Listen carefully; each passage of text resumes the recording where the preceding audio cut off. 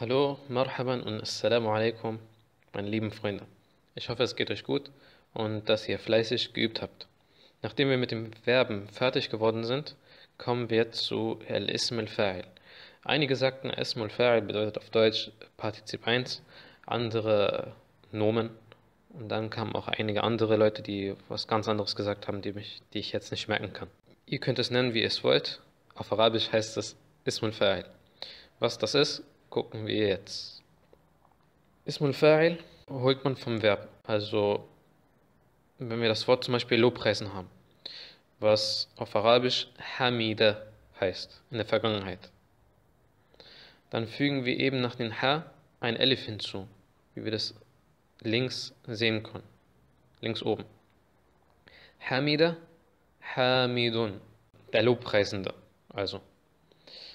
Und wenn wir das dann wiegen mit dem Verb fa'ila, dann sehen wir hamida ist genauso wie fa'ila. Für jeden Buchstaben ein Buchstabe oder das jeweilige Gegenüber, was wir schon gelernt haben müssten. Und von fa'ila wird dann fa'il. Fa'ila, fa'il. Hamida, hamid. Ich hoffe, ihr habt das verstanden. Das ist bei den Bu äh, Verben, die drei Buchstaben haben.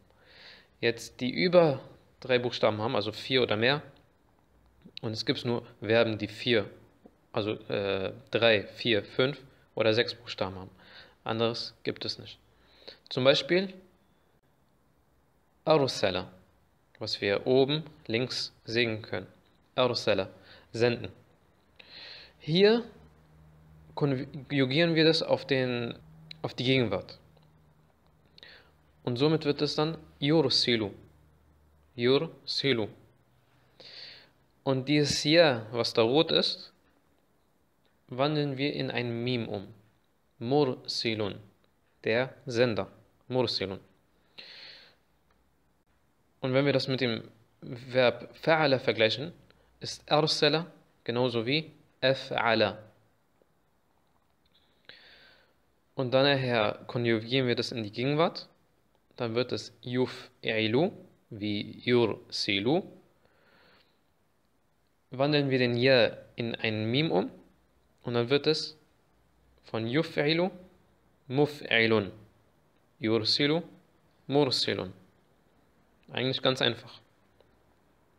Und wer es noch nicht äh, richtig verstanden hat, der braucht, glaube ich, nur einfache Übung. Keine Sorge, ich schaffe das alles schon. Nehmen wir noch ein Beispiel. In Kessara, brechen. Da das mehr als drei Buchstaben haben, müssen wir in die Gegenwart gehen. Yen Kessiru. Und das Ja am Anfang wandeln wir in ein Mim um. Mun Kessirun. Das Gebrochene. Und das wiegen wir jetzt mit dem Verb. In Fa'ala. Ist wie in Kessara. Und dann wandeln wir das in die Gegenwart um. Yen fa'ilu. Wie yen kasiru. Und das wandeln, äh, den Ja wandeln wir dann in ein Mim um. Und dann wird es mun fa'ilun. Das Wiegen hilft dir, dass du dann mit den anderen äh, Verben, die so ähnlich sind, das gleiche machen kannst. Okay, gehen wir zum Verb istaghfara, um Vergebung bitten. Istaghfara hat sechs Buchstaben. Deswegen müssen wir das in die Gegenwart äh, konjugieren. Dann wird es yastaghfiru. Yastaghfiru. Den Ja wandeln wir in ein Mim um. Mustaghfirun. Und er wird immer Dhamma haben, also U. Mustaghfirun. Jetzt wiegen wir das. Istaghfara ist wie istaf'ala. Und das konjugieren wir und es wird yastaf'ilu. Yastaghfiru. Und den Ja wandeln wir in Mim um. Mustaf'ilun. Mustaghfirun. Der um Vergebung Bittende. Somit sind wir mit dem heutigen Unterricht fertig. Und damit ihr es richtig verstanden habt, gebe ich euch eine Wasifa, eine Hausaufgabe auf. Ein paar Sätze und ihr müsst dann den Ismul Fa'il herausholen und den Verb herausfinden. Der Satz Al-Muallimu Yashrahu darsa. Der Lehrer erklärt den Unterricht. Hier haben wir Al-Muallimu, der Lehrer, übersetzt. Aber wenn wir es so wortwörtlich übersetzen würden, dann würde es der Lehrende äh, heißen. Jetzt habe ich euch gesagt, wo Ismul Fa'il ist und es fehlt nur noch, dass ihr es, also dass ihr das Verb herausfindet.